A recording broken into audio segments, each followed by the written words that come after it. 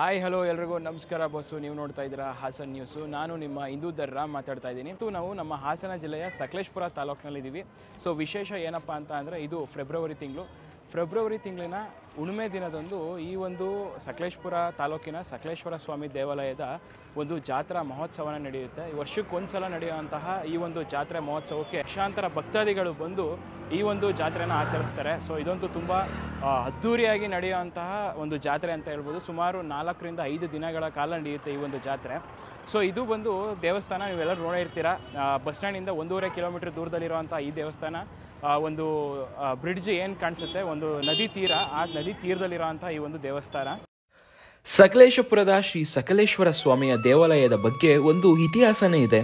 ಈ ದೇವಾಲಯದ ನಿರ್ಮಾಣ ಬಂದು ಸುಮಾರು ಹನ್ನೊಂದರಿಂದ ಹದಿನಾಲ್ಕನೇ ಶತಮಾನದ ಸಮಯದಲ್ಲಿ ಯಾರೋ ಒಬ್ಬ ರಾಜ ಈ ದೇವಾಲಯನ ನಿರ್ಮಿಸ್ತಾರೆ. ಹಾಗೆ ಯಾಕಪ್ಪ ಈ ದೇವಸ್ಥಾನ ನದಿ ಸಮೀಪ ಇದೆ ಅಂತ ಕೇಳೋದಾದ್ರೆ, ಆ ಒಂದು ಸಮಯದಲ್ಲಿ ಶಾಲಿವಾಹನ ಎಂಬ ರಾಜ ತನ್ನ ಪಡೆಗಳ ಜೊತೆ ಬಂದು ಈ ಒಂದು ನದಿಯ ತೀರದಲ್ಲಿ ತಂಗಿರ್ತಾನೆ. ಆ ಸಮಯದಲ್ಲಿ ರಾಜನಿಗೆ ಅಭ್ಯಂಜನ ಮಾಡಬೇಕಾಗಿರುತ್ತೆ. ಅಭ್ಯಂಜನ ಅಂತ ಅಂದ್ರೆ ಒಂದು ದೀರ್ಘಕಾಲ ನಡೆಯುವಂತಹ ಒಂದು ಸ್ನಾನ ಮಾಡುವ ಬಗೆ.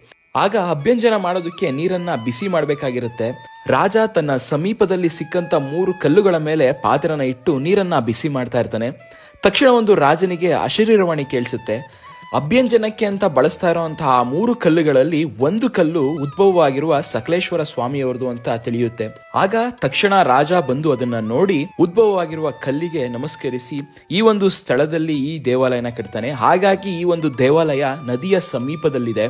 ಅಷ್ಟೇ ಅಲ್ಲ, ಈ ಒಂದು ಸಕಲೇಶ್ಪುರ ಅನ್ನೋ ಹೆಸರು ಈ ಒಂದು ದೇವರಿಂದ ಬಂದಿದೆ ಅಂತಾನೆ ಹೇಳ್ತಾರೆ. ಇದು ಈ ದೇವಾಲಯದ ಬಗ್ಗೆ ನಮಗೆ ಸಿಕ್ಕಂತ ಮಾಹಿತಿಯ ಪ್ರಕಾರ ಇರುವಂತಹ ಇತಿಹಾಸ.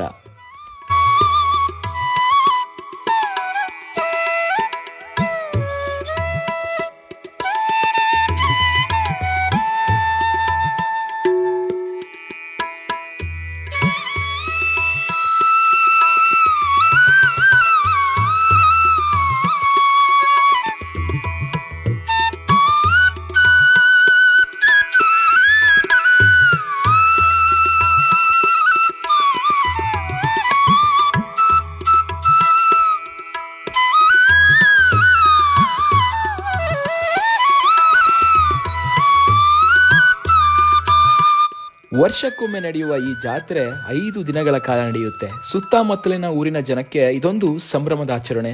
ಐದು ದಿನಗಳ ಕಾಲ ಹಲವು ರೀತಿಯ ಕಾರ್ಯಕ್ರಮಗಳನ್ನು ಮಾಡ್ತಾರೆ.